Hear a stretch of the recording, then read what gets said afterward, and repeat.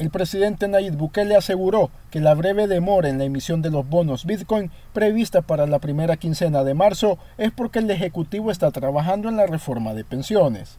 La breve demora en la emisión se debe únicamente a que estamos priorizando la reforma de pensiones y tenemos que enviar eso al Congreso, la Asamblea Legislativa, indicó el mandatario en una publicación de Twitter.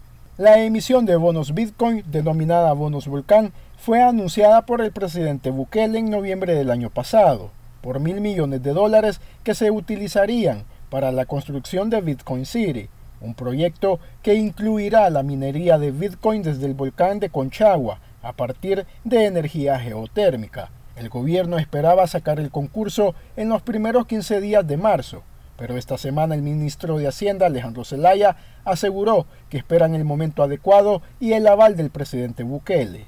Para ITV Noticias, Luis Escobar.